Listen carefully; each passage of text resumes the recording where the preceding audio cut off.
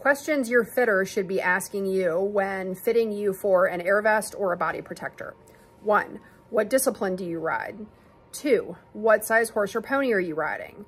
Three, what is your safety priority in terms of the type of fall that you're concerned about or the parts of your body that you're most concerned about protecting? Four, what do you wear in terms of layers during winter riding? Five, do you prefer a more relaxed fit or a snugger fit? And six, do you have any medical conditions that your fitter should know about? So let's break these down a little bit more. The first one, what discipline do you ride? There are different types of vests out there for different purposes. So if you're a hunter jumper or dressage rider, the recommendation about the type of vest might be different than if you're an eventer. What size horse or pony are you riding? Especially in the case of an air vest, we need to make sure that the vest can trigger quickly enough and fully inflate before you reach the ground. And that is gonna be directly correlated to lanyard and saddle strap length. So we need to make sure whatever brand or product we're getting you into allows for the appropriate amount of adjustability. What is your safety priority?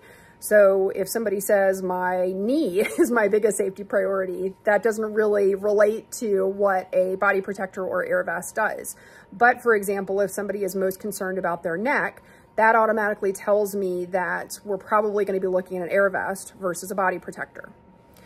What do you wear during the winter? So for example, a body protector can be worn over just about anything, but we need to make sure that it's anchored and isn't gonna move around. And when you start putting really puffy layers under it, that's gonna impact fit. And for an air vest, the air vest must always be your outermost layer unless the outer layer is air vest compatible.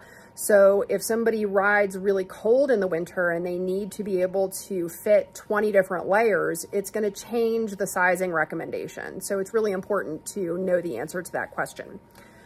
In terms of do you prefer a more relaxed or a more snug fit?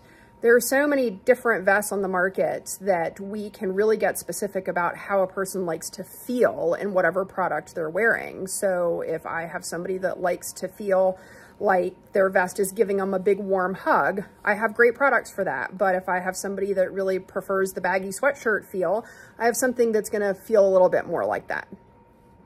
And then last, the medical conditions. This actually to me is the most important one, especially from an air vest perspective. So for example, uh, no offense, but if I see a rider of a certain age, I'm gonna ask, do you have any sort of bone density issues? Because I'm gonna fit an air vest a bit differently to make sure that the percussion of the vest going off isn't gonna potentially do damage.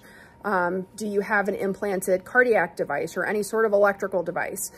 There's a vest that has a magnet in it. And I wanna make sure that even though while that magnet is really far from your heart, I'm not gonna take any chances. So those are questions that I ask when I'm going through the fitting process. And I feel like as an expert fitter, it's my responsibility to know what questions to ask to do the best job in getting my client the most appropriate product for them if your fitter isn't asking these questions, then it might be good to be prepared and be able to ask those questions for yourself so you can make the most informed decision about the right product for you.